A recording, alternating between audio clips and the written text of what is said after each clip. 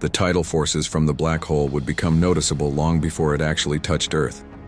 If the black hole were about 10 to 100 times the mass of the Sun, it could tear Earth apart if it came too close. For a supermassive black hole, which is millions to billions of times the mass of the Sun, Earth might be affected even at much greater distances. As the black hole moves through the solar system, its gravity could destabilize the orbits of the planets, including Earth. The planet's orbit could become unstable, potentially sending Earth on a collision course with the Sun, or flinging it out into deep space. The black hole could also disrupt the orbits of other planets and moons, causing chaotic changes in the movement of objects throughout the solar system.